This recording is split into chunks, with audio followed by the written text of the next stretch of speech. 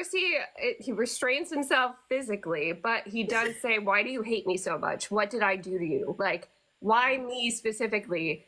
And Dionysus's answer is a mythological answer. It is, Did I ever tell you about my wife, Ariadne? Theseus said he would marry her. He took her aboard his ship, sailed for Athens.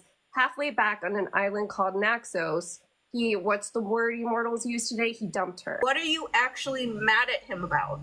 Because you're mad at him when he doesn't want to go on a quest and he doesn't want to be a hero. And now you're mad at him because he wants to take care of the people, which, according to your fun little story, would be what you would want people to do. Yeah. So why are you mad at him? And like the the best part of this whole story when Percy is like, "Didn't you get in trouble and like can't drink alcohol because you cheated on your wife?" Hold on. Can we go back to how you're a raging hypocrite? that like you're holding this like 14 year old kid to a higher standard than you hold yourself to. You're a, you're a fucking god.